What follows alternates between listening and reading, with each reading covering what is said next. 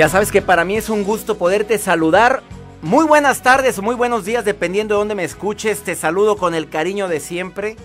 Esto es el placer de vivir, tu amigo César Lozano desde Monterrey para la cadena MBS Radio. Y como ya sabes, hemos estado dando la bienvenida durante todo el mes a mis nuevos amigos en El Paso, Texas y eh, obviamente ahí en frontera, en Ciudad Juárez, Chihuahua, que me escuchan a través de EXA Oye, mil gracias a todos mis amigos también en los Estados Unidos. Hoy pasaremos un momento, a pesar de que voy a tocar un tema medio, medio álgido, medio complicado, yo siempre he dicho que el asesino silencioso es el estrés. Si tú eres ya radioescucha frecuente del programa, te has dado cuenta que he tratado el tema bajo varias perspectivas. He hablado del estrés en niños, he hablado del estrés que se provoca a través de las redes sociales, porque hablé de un tema que impactó mucho el acoso en redes sociales, el bullying que también se ha estado incluyendo no solamente en las escuelas, ahora bullying también cibernético. Pero decía una investigación que presenté y uno de los investigadores que vino aquí al programa decía, César, el problema más grave de ese bullying o de ese acoso o de haber publicado una fotografía que tú no querías, que sabes que saliste espantosa o horroroso y aparte todavía te la truquearon, y sales en la foto, es el estrés que conlleva. El estrés tan grande que vivimos las personas que estamos corriendo y que quisiéramos que el día tuviera dos horas más, tres horas más y dices, con eso sería más feliz. No, hombre, si tuvieras esas dos, tres horas más estuvieras igual de acelerado. También he hablado de algunos alimentos que pueden llegar a... a le dicen los calmantes naturales del estrés. Mm, si recordarás, cuando vino un especialista en nutrición y que vino Alma Cendejas a esta cabina, ella decía, pues el pescado. Comer pescado una o dos veces por semana o hasta tres si es posible. Añade a tu dieta ácidos grasos omega 3 y estos nutrientes tú ya sabes que son esenciales y que ayudan mucho a moderar ciertas hormonas. También cuando viene Silva Carneval y recomendamos sus hormonas bioidénticas porque también controlan y te bajan el acelere y, y es patrocinador oficial del programa. He hablado de que el chocolate, pero el chocolate oscuro, ayuda a controlar el estrés. De preferencia chocolate natural, porque mucho el chocolate que venden en el mercado o en las tiendas, pues es chocolate, imitación chocolate. Pero si usted consigue chocolate, el oscuro, el que dice, este, este es, y checa el porcentaje de, de cacao que trae, verifícalo. Ese te ayuda a controlar el nivel de estrés. Oye, el té negro, mira, a mí, yo sinceramente cuando empecé a tomar té negro, y tomarlo ya como costumbre. Me di cuenta que en lugar de estar tomando tanto café y de repente combinarlo, que, que me tomo un café en la mañana, pero un té negro a media mañana y otro té negro durante la transmisión del programa, mira, increíble. Me ha servido mucho a controlar ese estrés. Obviamente hay otro producto que yo no lo sabía y esto me lo acabo de descubrir en una revista Selecciones del mes pasado que me quedé impactado y la traigo aquí conmigo. Tengo que decir la fuente. Escucha lo que me encontré en esta revista y me puse a analizar e investigar en el internet y sí encontré información. ¿Te gusta el aguacate? Bueno, el aguacate, em, este fruto está repleto de dos potentes sustancias que ayudan a combatir el estrés. Yo no lo sabía. Y mira que me, jacto de investigar mucho todos los productos que traen los alimentos. Bueno, el aguacate, ¿tú qué te gusta? No, un taquito de aguacate ahí durante la comida. O ponle tu aguacate aquí al sándwich. Bueno, ahí te va. Estos dos productos son el potasio y los ácidos grasos monoinsaturados. Bueno, ambos nutrientes, tanto el potasio como los ácidos grasos monoinsaturados, disminuyen a la presión arterial y contribuyen a, prevenir la depresión. En un ambicioso estudio que duró, fíjate cuánto, 11 años, que fue realizado en España, se observó que cuantos más ácidos grasos monoinsaturados o más aguacate comes, eh, que más aguacate comían los, los, participantes, menos riesgos tenían de deprimirse. Silvia, hay que comer más aguacate. ¿Te gusta? Ahorita empiezo a platicar contigo. Bueno, los investigadores creen que estas grasas tal vez aumentan la eficiencia con que el cerebro absorbe una sustancia que es la serotonina.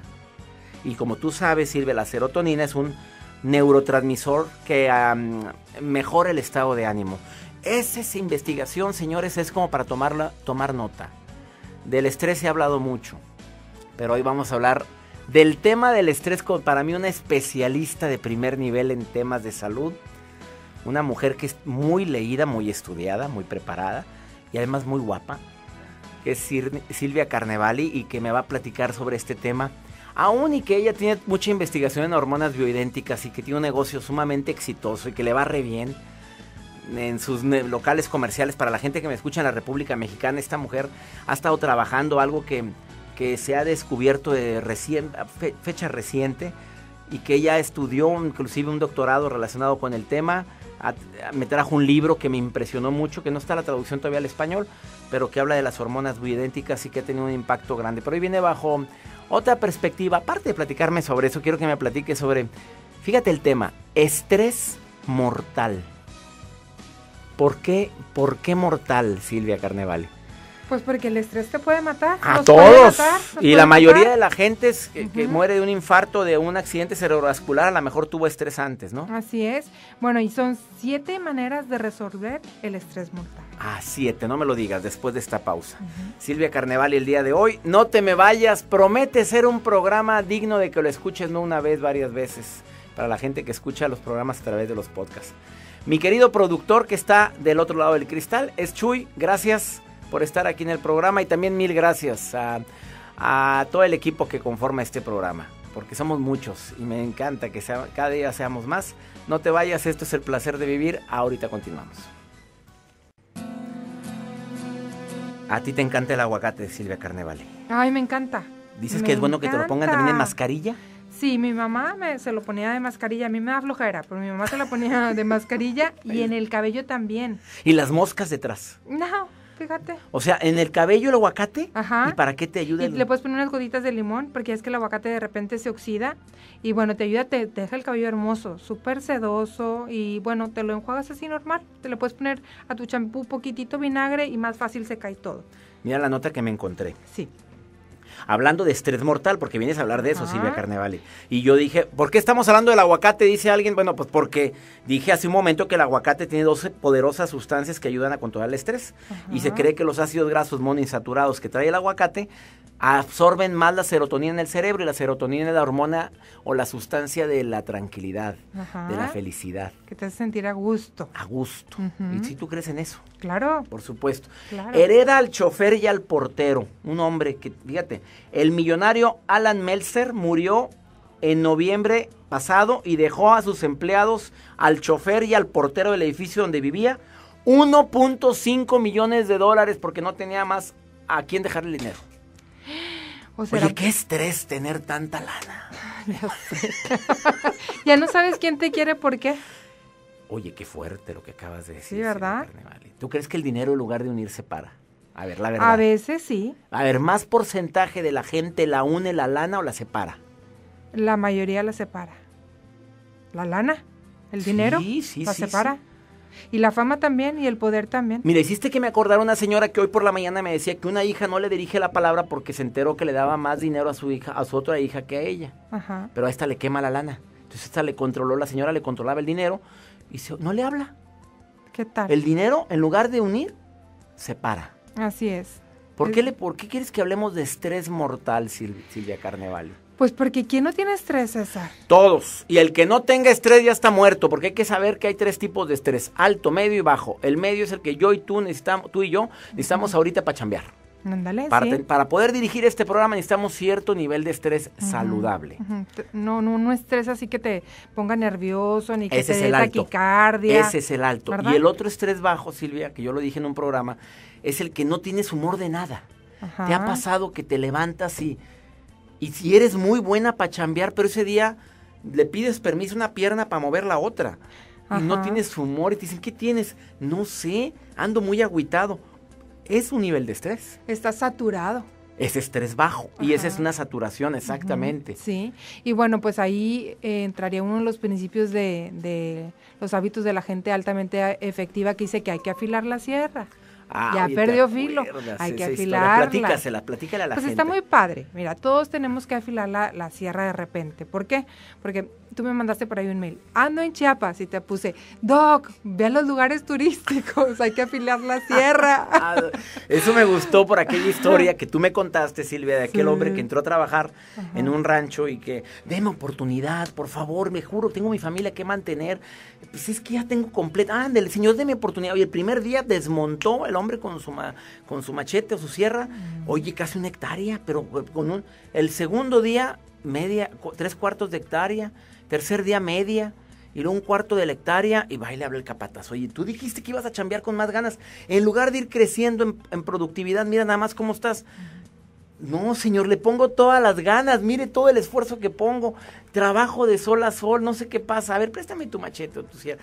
Toda desfilada. Pues hay que afilar la sierra. Hay que afilar la sierra y nosotros como seres humanos con mayor razón, porque imagínate tú que trabajas 16 horas al día, porque yo sé que con la coenzima Q10 te da mucha energía y trabajas mucho, César, Claro, yo lo sé. supuesto. La coenzima Q es un producto que ella maneja de las hormonas bioidénticas de Silvia Ajá. Carneval. Para la gente de la República Mexicana lo pueden conseguir en tu página web www.silviacarnevali.com. Métase a ver esa página. Sí, está bien interesante.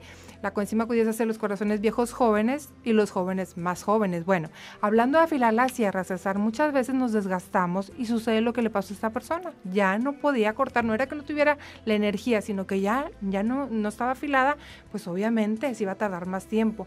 ¿Qué es afilar la sierra? Pues irnos un ratito por ahí, a donde tú quieras. Si estás en Chiapas, pues ir a ver las cascadas esas bonitas, ¿cómo se llaman? Que Pues están no en Chiapas. fui, hombre. ¿Ves? Te digo, me, yo eh, no, me quisiera, yo me fui a, los- a las lagunas esas preciosas de Montebello que están preciosas. Pero a las bonito. cascadas no fui, las lagunas me encantaron. Yo nunca, es que no te la crees que estás en Chiapas. Es una ¿Verdad? belleza, nos escuchan allá en Chiapas ahorita. Ay, ¿eh? un saludo. Bueno, a mí me han platicado. Yo no conozco Chiapas, No me digas No, no eso. conozco Chiapas. Sí, es un pecado mortal. pero quiero urgentemente. Cuando me dijiste yo, ay, no puede ser. ¿Y sí. Oaxaca? Sí. Bueno, conozco Huatulco. Ah, Huatulco. bueno. Hay nivel. Vete al- a la ciudad de Oaxaca, es la cosa más maravillosa. Bueno, pero por ejemplo el mole y el chocolate. Eso no lo perdona. Y el, mol- y el chocolate de allá es chocolate de verdad. Bueno, ese chocolate se lo pones al mole de aquí que es más picosín el del norte y te queda un mole así como que de super ¿Te lujo. gusta cocinar, Silvia Carneval? Pues me gusta, pero no tengo así que tú digas tanto tiempo. Ah, bueno, ahorita me dijiste varios tipos de estrés, voy a una pausa, pero me dijiste que hay tres o cuatro, no sé, con una clasificación muy especial, porque dijiste un Ajá. estrés del alma, Ajá. un estrés Del espíritu. del espíritu, otro estrés Del cuerpo. del cuerpo y otro más que decías, o son los tres únicos Son que tres. Ahorita me los platicas después de esta pausa, porque me, ya- se me hizo muy interesante y nunca he tocado ese tema en este programa. No, no, va a estar muy, muy padre. Que Ni no se te vaya. separes, quédate ahí, por favor, vayan, Silvia no Carnevale, en el placer de vivir. Obviamente son siete, pero yo quiero hablar principalmente uniéndolos todos en tres, porque Claro. según una investigación que tú tienes en tus manos, Ajá. muy fuerte y que me diste una copia, lo cual te agradezco mucho, Silvia, Sí, habla de siete factores de estrés mortal. Pero yo quiero hablar de los tres más relevantes. Si hay oportunidad, hablamos de más. Pero Claro. el estrés del cuerpo es obvio. Sí.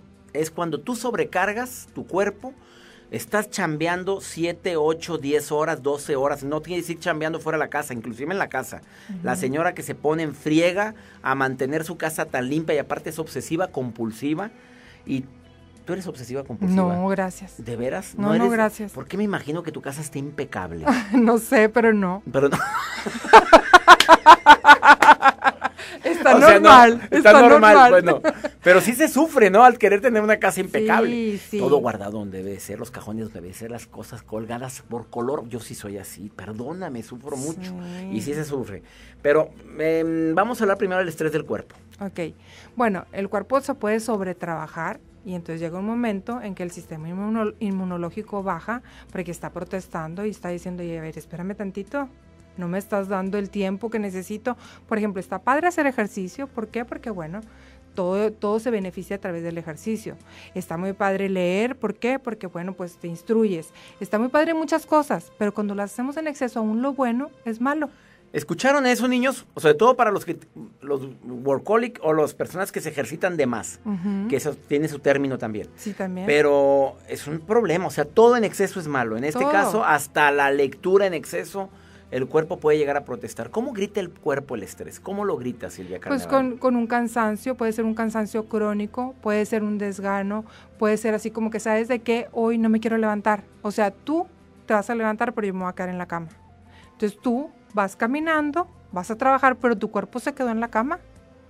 ¿Sí, ¿sí has visto gente así? ¿Sí te ha pasado? o sea, que, la- que- que va el cuerpo, pero Como va un sin edad- zombie, como un zombie. A ver, dime, em, ¿cómo diferenciar ese estrés de una persona que le están faltando hormonas que son necesarias para poder trabajar a gusto? ¿Cómo se le hace la diferenciación entre una cosa y otra? Bueno, por ejemplo, el DHA es una hormona que tiene su pico más alto a los 25 años. Esta hormona te ayuda mucho a que tú estés con vigor, con ganas de hacer muchas cosas, como un chavito de 25 años. Ajá. Después de los 25 años viene en declive.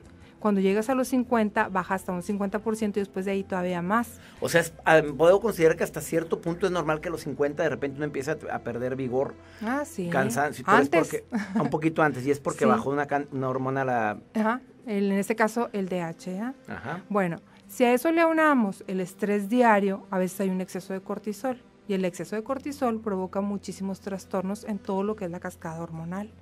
Entonces, no es solamente las hormonas, sino también todo lo que tiene que ver con vitaminas. Por ejemplo, el complejo B es importantísimo. Todo eso de las, de las vitaminas, todo eso de las hormonas, de los omegas, todo lo que tú comentas que es muy bueno para el estrés, todo lo tenemos en forma de crema transdermal.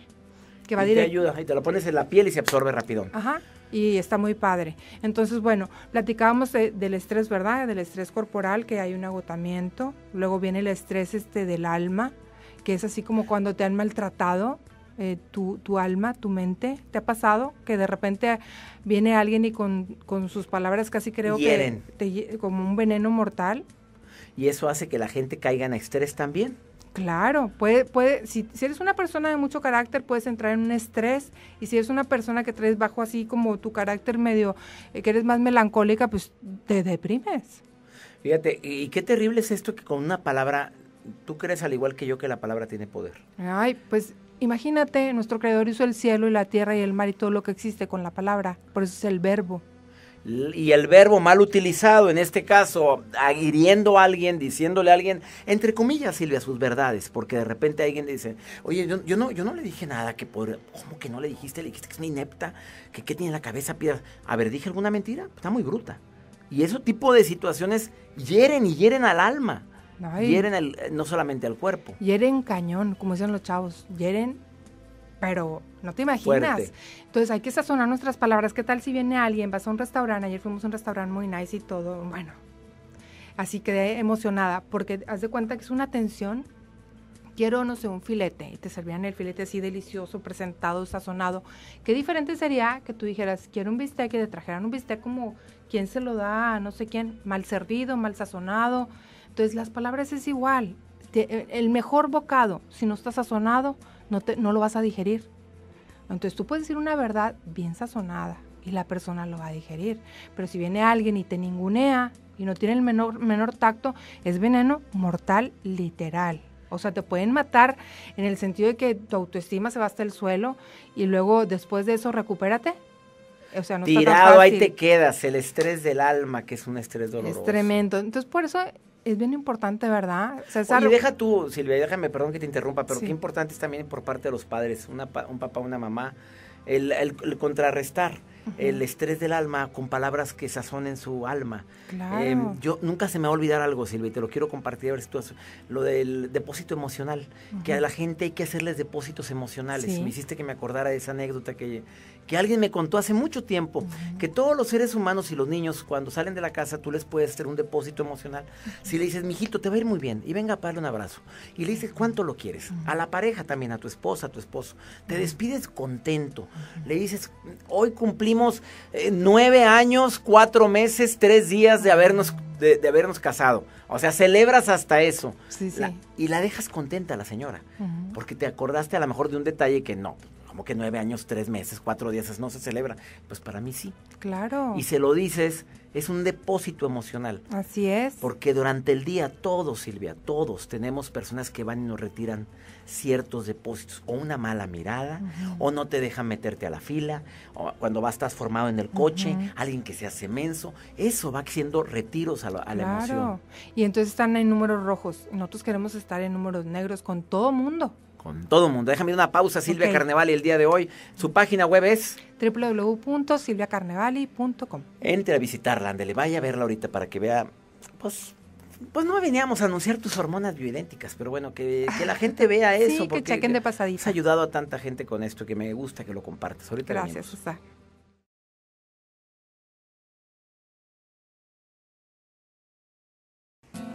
Un mensaje que voy a leer de una radio escucha y quiero ver tu respuesta. Yo tengo mucho tiempo haciendo ejercicio, comiendo saludablemente, tengo un trabajo que me encanta, tengo un marido que me entiende, tengo hijos que son maravillosos, pero tengo ya más de dos meses que me siento sin humor de nada, me siento muy cansada, me siento triste, me dan ganas de llorar por todo y además yo la verdad no me puedo entender cómo teniendo tanto me queje mentalmente de que me falta todo. ¿No será un estrés del espíritu? Muy probablemente sí. Necesitamos de repente un reencuentro con Dios, porque a veces, eh, digo, creemos en Dios y tenemos fe, pero nos falta de repente un reencuentro. ¿Y así qué le dice a la gente que dice, es que yo no siento a Dios? Es que pues no es un sentimiento, Dios. No es un sentimiento. Vaya, búsquelo. Ajá. Dice, sí, sí. Aparte, este, fíjate qué bonito dice uno. Dice, dice, ven a mí y yo te responderé. Tú cenarás conmigo y yo contigo. ¿Sabes que se me quedó bien grabado una vez? Mi mamá me dijo, ¿sabes de que hoy invité a desayunar a Jesús conmigo? Así te dijo. Así me dijo. Le dije, No. Jesús el vecino, Jesús Cristo, dijo. Sí. Le dije, ¿cómo fue eso? Pues sí, es que te noto muy bien, mamá, tu color, tu cara. Ella andaba súper agüitada por un broncoronón que tuvo. Dijo, haz de cuenta que me sanó el alma, mi espíritu y me siento otra. Así dijo, hoy invité a Jesús a a desayunar. desayunar conmigo. Y se te grabó hace muchos Se años. me eso. grabó y, me, y ya cuando ella, pues mis papás se separaron, cuando ella estaba solita, decía, ¿sabes de qué? Cuando me acuesto y me tapo, siento como que las cobijas es, son las alas de Cristo. Digo que tendrá las o no tendrá las, solo Dios sabe, ¿verdad? Pero era una manera, una metáfora, una analogía de decir, me siento protegida, cubierta. Y ella con su dolor tan grande de un Sí, divorcio, porque para... sí. Nunca se divorció, se separaron porque ella la amó ¿Y a hasta el edad? final con locura. Con Ya, ¿Y a qué edad se separó tu mamá? Pues, ¿qué será? Yo me casé en el 85. No hablemos de tantos detalles, digamos. Pero Pues, tu, tu mm. mamá tenía, ¿qué edad cuando se separó? Tendría como unos 60. Ah, qué difícil. Todavía. Es más difícil separar. Pero siempre la amó César, toda la ¿Cómo vida. que la amó? ¿Quién? Lo amó a mi papá. O sea, aunque tu papá se Ah, fue, ella lo sí, amaba. Toda la vida, toda la vida lo amó y siempre se Y lo nunca dijo. habló mal de él. Bueno, pues eso, eso ya sería mucho. Ya sería una santa, Eso ya ¿no? sería mucho. Digamos que es parte de la terapia. Pero qué raro si de los hombres que pueden decir mal. Sí, ya sé. No, pero sí, siempre lo amo. Y bueno, Ah, o sea, lo amó. ¿Y cómo sabes que lo siguió amando? Sí. Ah, pues porque, pues, porque el último día que ella falleció, el día que falleció llegó de trabajar súper trabajadora y lo primero que me dijo, ella, ella tuvo un infarto masivo, me dijo, Silvita, háblale a tu papá. Hab- Le digo, "Mm, sí mamá, yo no sabía la gravedad de su problema. Entonces viene mi papá y dice, llámale inmediatamente a, pues, a emergencias. Como ella sabía que él era el, único que iba a saber qué le estaba sucediendo. Estábamos mi esposo, mis hijos, yo, y me dijo, háblale a tu papá. O sea, tú no te vas a dar cuenta, le hablé a la doctora de enfrente, nadie se va a dar cuenta, más que tu papá que tengo. Y llegó tu papá y entendió. Sí, sí. Mi papá vio y inmediatamente dijo emergencias. Impresionante. Y no, no ¿Qué es ese? ¿El lenguaje del corazón? ¿El lenguaje del alma? ¿El lenguaje Pues yo digo que cuando tú te unes con una persona, te conviertes en una sola carne. Para siempre. Para siempre. Pero se separaron, Silvia. No, no, no, pero mi mamá jamás se separó. O sea, sí. Espiritualmente jamás se separó de mi papá. ¿Cuántas personas no estarán divorciadas así? Eh, bueno, hay muchas pe- personas que viven juntas y están divorciadas, por así decirlo. sí, viven en la misma casa y están divorciadas. Perros y hay y personas que están divorciadas o separadas, pero jamás espiritualmente se desconectan. ¿Sí sabes cómo? Sí, imagínate lo que está pensando ahorita una que está casada con un divorciado. Ajá. Pues No. es que sí, digo, suele Tiene que suceder. haber cierta conexión, sí, pero. Sí, suele suceder. Pero bueno, ahorita que tú comentabas de la carta de esta persona O que no será también falta de hormonal, porque también esa es una. Fíjate que Tiene, sí, tiene 38 sí años. sucede, sí sucede. Y eh, ahora cada vez más jóvenes. A ver, si tú pudieras recomendarle una hormona ahorita bioidéntica a una mujer que anda agüitada, que no tiene humor de nada, que no tiene ganas, ¿cuál sería? Una. Una, que yo sé que son muchas, La progesterona, porque normalmente hay exceso de estrógenos, normalmente de esa edad. pero a progesterona en una mujer. Progesterona Y- y- bioidéntica. bioidéntica, que se unta en la piel. Así y en un hombre que anda así agüitado, sin humor de nada, Eh, El de 35, que contiene pregnenolona, me- progesterona y DHA. el que yo me pongo. Y, y la coenzima Q10 complejo B. Oye, pero ya dice muchas, espérate. Sí. Una u otra, ¿cuál? El D35 que contiene pregnenolona, progesterona y DHA. Las tres en uno. Vamos a una pausa, mi amiga Silvia Carneval y el día de hoy en el placer de vivir hablando de, oye, estamos hablando hasta de hormonas y de cosas. No íbamos a De hablar de estrés pasadita. que mata. Estrés que mata. Ahorita, bueno. ahorita eh, regresamos. Claro que sí. Silvia Carnevali es licenciada en psicología, apasionada por temas de contenido de salud, apasionada, esa es la palabra. Sí, totalmente. Tú siempre estás leyendo cosas de salud, de medicina antiedad, antienvejecimiento. Me encanta todo. Es que cuando tú descubres que hay algo detrás del... Cuando tú dices, es que ya no había solución, y sí hay, como en el caso de mi hija, que ahí tengo el testimonio, que tuvo el síndrome ovario poliquístico y, y me di cuenta que a través de las hormonas bioidénticas había una solución. Y sí, y ahí hay mucha gente que no lo sabe y dices, tú quiero que lo sepas. Lupita Jones anda haciendo eso también. Ella escribió un libro muy padre que se llama Detén el tiempo. Oye, que sí se está lo bueno el súper libro. recomiendo, está padrísimo. Yo lo vi en una tienda, Detén el tiempo, Lupita Jones, y ella, ella con otro hombre lo escribió. Sí, eh, con Di Marco, Diego Di Marco. Sí. Y habla de las hormonas bioidénticas. Ella hace cuenta como que hizo una entrevista a muchos doctores, está muy padre. Yo la felicito porque en serio que se necesitaba ese libro. Y ahí te viene hablando de que nosotros envejecemos muchas veces no porque hayan pasado los años, sino porque las hormonas han, han entrado en un desnivel. Entonces cuando hay un desbalance hormonal, pues bueno, Cuando ves a alguien que aventó el viejazo, que dices, si dices tú, ay cañón, ¿qué, ¿qué, le pasó? pasó a esta? Yo una Ajá. conductora de televisión la acabo de ver Ujú. de un programa de espectáculos de una cadena nacional que la voy, ah, que, que- que la hicieron un close, dije, ¿qué, qué fue? La, el- la pantalla, el, ya sabes cuál es la hora, la, la- que todo te detecta, que qué terrible, Sí, pantalla sí. alta high definition. Ajá. Sería eso. Mucho tiene no, que ver. ¿eh? estaba toda, pero, pero fue muchos factores. Y es que sabes que el estrés hace que entres en un desbalance hormonal. Por eso es bien importante que cuidemos de no tener un estrés, que no estemos todo el tiempo en conflicto, empezando con nosotros mismos. Y no, y no estés haciendo saldo en contra, Silvia, porque eso es bien importante. No te andes peleando con todo el mundo. Eso es un desequilibrio. ah, claro. Eso es un desequilibrio, ¿cómo le podemos decir a eso?